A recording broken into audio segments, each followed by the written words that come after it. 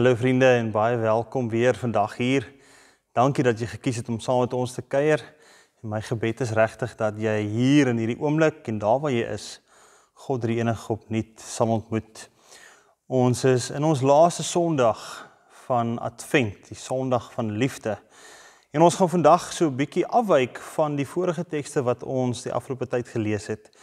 Wat gaan oor die gebeure voor Jesus se geboorte en ons gaan spring na Lukas 7. Die baie bekende verhaal van Johannes wat sy disippels na Jesus stuur en vra Jesus, is U die een waarvoor ons gewag het of moet ons 'n ander een verwag? En in 'n mate het hierdie verhaal vir my aan die een kant getroos want ek het geweet as iemand soos Johannes die Doper wat gesê het daar loop die lam van God kon twyfel dan is die bietjie twyfel wat ek dalk op 'n stadium in my lewe gehad het nie eintlik iets waaroor waaroor ek hoef te worry nie. Maar aan die ander kant het dit 'n um, ander ongemak by my uh losgelaat. Want as iemand soos Johannes wat gesê het daar is die lam van God kan twyfel, um dan uh, is dit nou nogal 'n swaar las om te dra wanneer iemand um in my eie familie of in my eie kringe of of selfs iemand vandag twyfel in wie God is. En ek dink ons kan vandag veral in die laaste week van Advent kan ons hierdie teks van naby bekyk want ek dink dit het tog waarde vir wanneer ons Kersfees vier en Christus se geboortedag vier. Maar voordat ons uh, gaan lees, kom ons raak net vir 'n oomblik stil en ons bid saam. Here God ons almagtige Vader, dankie dat ons sommer so in die 4de week van Advent kan dink en herinner word aan die liefde wat U vir ons het en wat 'n groter daad van liefde is daar dan nie deur die seun, die enigste seun, soos die 2020 vertaling sê, unieke seun vir ons te gee, aarde toe te stuur nie. Wil U ons hart en ons gedagtes rig op dit wat ons gaan lees en hoor en en gee dat ons regtig U stem sal hoor vandag. Maak ons harte stil, ons gedagtes rustig en gee dat ons op niks anders as U sal fokus nie. Dankie dat ons dit kan bid in die naam van ons Here Jesus Christus. Amen. Ons lees saam uit Lukas 7 vers 18 tot 23 en vandag gaan ek weer vir ons uit die 2020 vertaling lees. Johannes se disippels het hom van al hierdie dinge vertel. Johannes het twee van sy disippels laat roep en hulle na die Here gestuur om te vra: "Is U die een wat sou kom of moet ons iemand anders verwag?" Toe die manne by hom aankom, sê hulle: "Johannes die Doper het ons na U gestuur om te vra: Is U die een wat sou kom of moet ons iemand anders verwag?" Op daardie oomblik was Jesus besig om baie mense van hulle siektes en kwale en bose geeste te genees en om baie blindes weer te laat sien. Hy het hulle geantwoord: "Gaan vertel vir Johannes wat julle gesien en gehoor het. Blindes sien weer en verlamdes loop. Melaatses word gereinig, dowes hoor, dooies word opgewek. Aan armes word die goeie boodskap verkondig. En gelukkig is elkeen wat nie aan my aanstoot neem nie." Ek dink om hierdie teks beter te verstaan, moet ons regtig bietjie gaan kyk na die agtergrond waarin dit geskryf is. En dalk moet ons dit vanuit Johannes die Doper se oogpunt benader. Johannes wat verkondig het baie lank tevore Jesus is die een, hy is die lam van God, hy is die een waarvan die profete gepraat het. En saam met dit het Johannes 'n klompie mense kwaad gemaak. Onder andere het hy teen Herodes en Herodias gepreek en dit het veroorsaak dat hy in die tronk beland. En dat hy daarso ehm um, swaar gekry het. Ek dink dis in hierdie konteks en en in hierdie swaar kry wat Johannes die vraag na Jesus toe stuur. Sy disippels stuur met hierdie vraag. En 'n mens kan dit verwag wanneer jy gaan kyk na die verwagting van die Messias in daardie tyd. Dit was nie die Jesus wat ons gekry het wat die Jode van daardie tyd verwag het nie. Hulle het iemand verwag met 'n swaard in die een hand wat vir Israel gaan kom verlos uit die mag van die Jode. en vrede sou bring.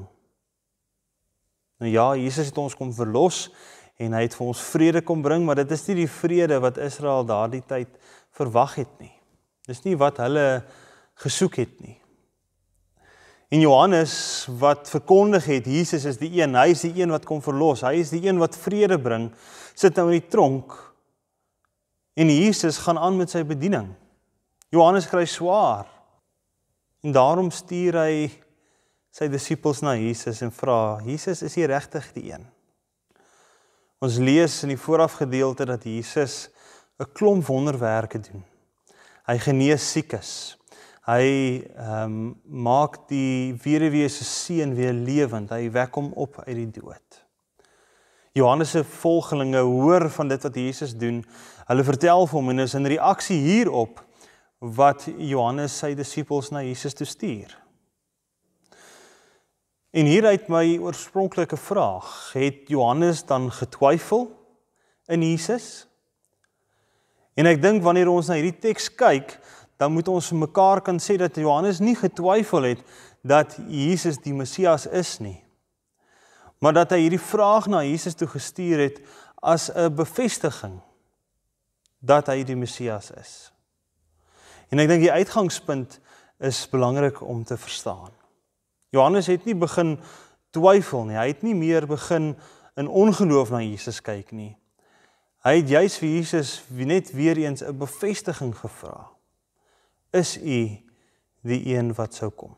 Die antwoord wat Jesus hierso gee is 'n bevestiging, maar meer as dit. Dit is nie net 'n bevestiging deur sy dade nie dat siekes genees word, dooies uit die dood opstaan en dat die evangelie aan armes verkondig word nie. Nee, hy wys Johannes weer terug na die skrif. Hy sê vir Johannes gaan lees weer in Jesaja wat die profeet sê wat sou gebeur. Dit is wat hier gebeur. Dit is wat ek op hierdie stadium doen. En daarom is nie net my dade en dit wat ek doen bevestiging nie, maar nee, die skrif bevestig wie ek is. Hoekom is dit belangrik dat ons hierdie verhaal weer so kort voor Kersfees moet hoor?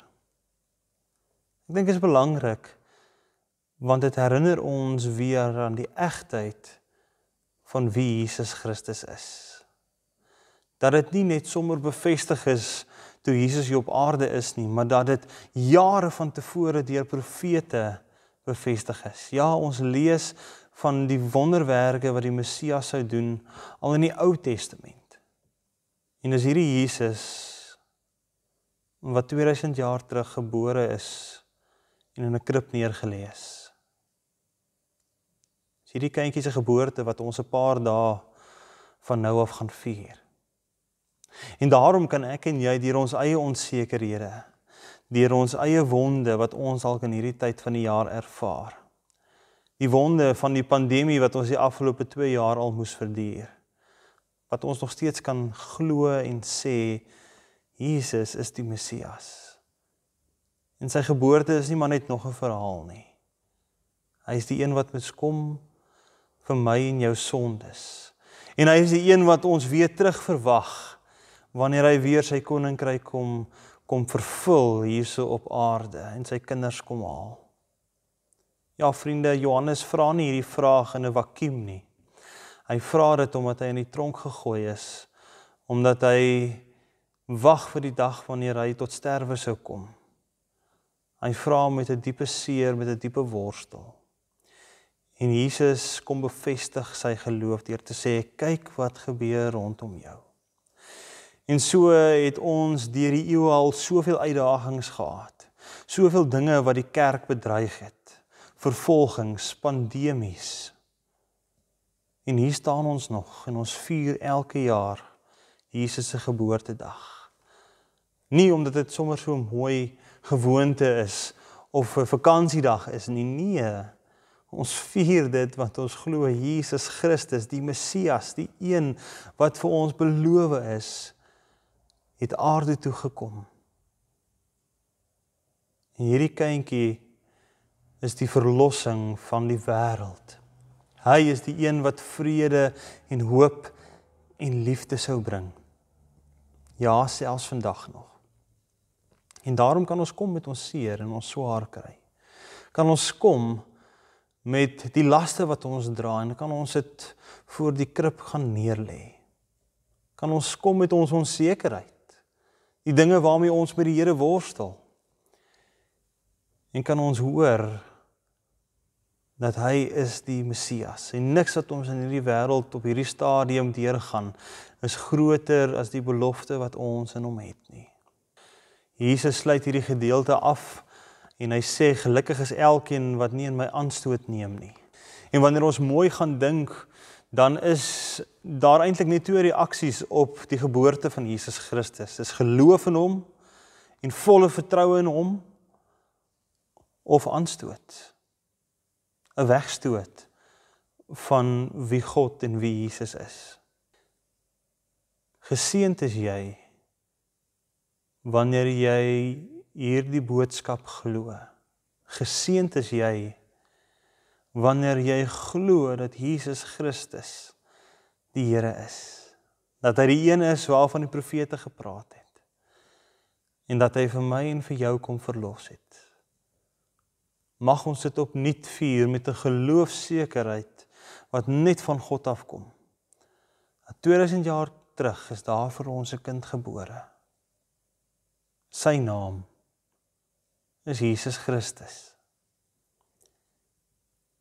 En ons kan sy geboorte opnuut hier in 2021 vier. Mag ons vashou aan hierdie wonderlike boodskap aan die evangelie, nie net hier aan die einde van die jaar nie, maar ook in die jaar wat voorlê. Amen. Kom ons bid saam. Here God, ons almagtige Vader, dankie dat ons opnuut vandag kan glo. Dat ons vandag kan bely dat U is die Messias, die een wat sou kom. Dankie Here dat U al lank van tevore dit vir ons kom bevestig het.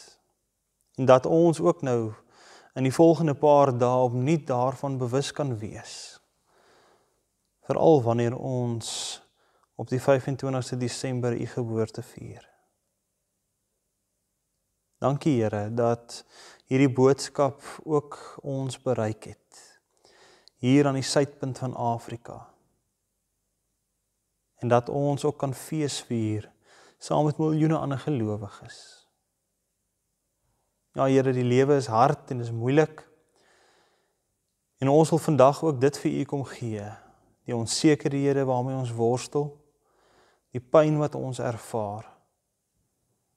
En ons wil regtig bid dat U ons ook intens bewus sal maak van die troos en die liefde in hierdie tyd en dat u ook in in hierdie tussendeur hierdie omstandighede by ons is. En dat u liefde ook vir ons bedoel is. Dankie Here dat hierdie adventtyd en die kerstyd wat voorlê dat dit vir ons 'n opnuute herinnering is dat u vir ons lief is en dat u aarde toe gekom het, mens geword het om al ons onsekerhede en ons sondes weg te neem. Dankie dat ons dit kan bid vandag. En ons bid dit in die naam van ons Here Jesus Christus. Amen. Vriende, die week lê voor, maar onthou jy gaan nêrens per ongeluk nie. Waar jy ook al gaan, God het jou daarin gestuur en waar jy jouself ook al mag bevind, God het jou daar geplaas. Glo dit. Gaan met die seën van die Here. Die genade van ons Here Jesus Christus en die liefde van God en die gemeenskap van die Heilige Gees sal by elkeen van ons wees. Amen.